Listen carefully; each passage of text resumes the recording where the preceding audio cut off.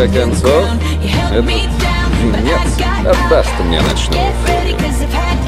Никакой он не вождь.